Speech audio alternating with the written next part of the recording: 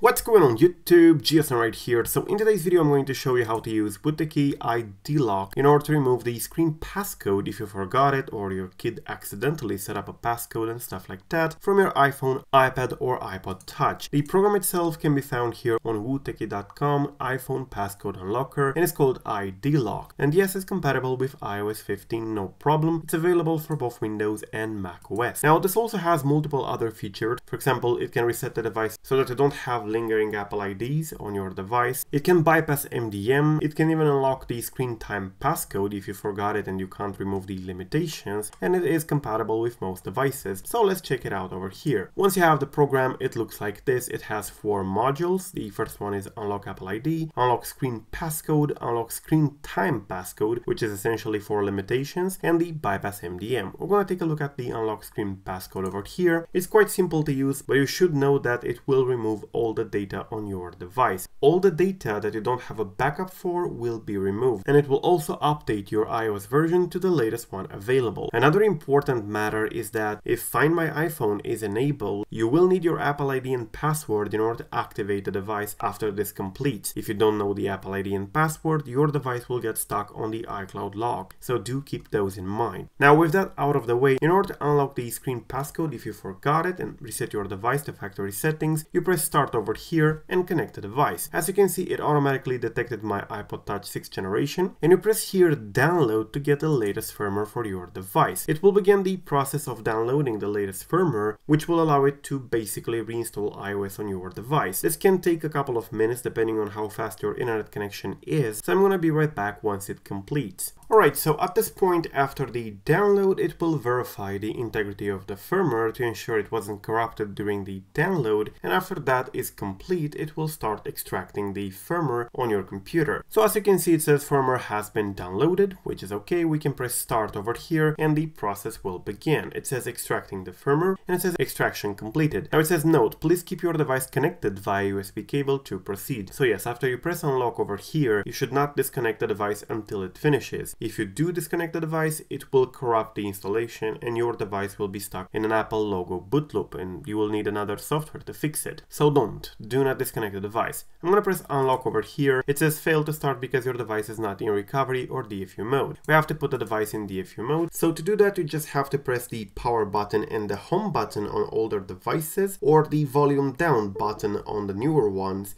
and keep pressing them until the device shuts down. Once it shuts down, release the power button, but keep holding the volume down or home button until it connects to the computer and your screen should remain black. At this point you can press unlock over here and it should say something like this. It asks us to insert this passcode to ensure that we really do want to erase all the data. So it's 000000. I'm gonna press unlock over here and that's it. It says removing screen lock. So at this point this may take a while to complete. It can take up to 10 minutes but it really depends on your device. The device will reboot a couple of times during this procedure. It's nothing, you don't have to worry about it. Just do not disconnect the device. It will show the progress bar and an Apple logo and it may reboot a couple of times during this procedure. After this is done, you will have to set up the device again, you know, the language, the country, the Wi-Fi connection and everything in there. And if it's iCloud locked, you will have to input your Apple ID and password. Alright, so as you can see, it started moving. It might take a while, so I'm gonna be right back once it completes. Alright, so after about 10 minutes or so, it says unlock is complete. Please check whether your device can start, and that may take a few minutes. Please wait